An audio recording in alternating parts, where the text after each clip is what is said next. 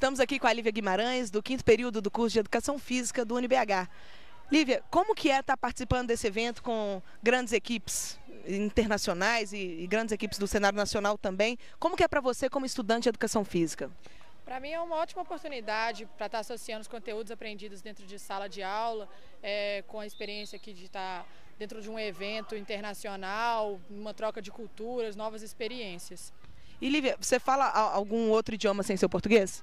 Falo. Eu falo o básico do espanhol e falo o intermediário do inglês. E tá dando para conversar, para comunicar com os jogadores estrangeiros? Tá, eu não estou tendo tanto contato com o, os times internacionais, mas pelo que eu estou passando aqui nessa área VIP, nos outros momentos, eu tenho é, tido a oportunidade de entrar em contato com eles. E trabalhar na Copa de 2014 é um sonho, né? Será que aqui vai te ajudar? Ah, acredito que sim, até porque é, os organizadores da Copa que vão estar selecionando os voluntários são os organizadores desse evento, então é uma ótima porta de entrada para trabalhar na Copa do Mundo.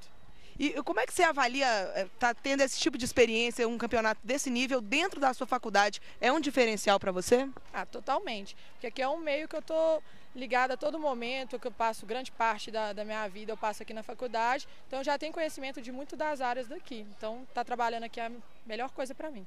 Tá certo, obrigada Lívia. Bye.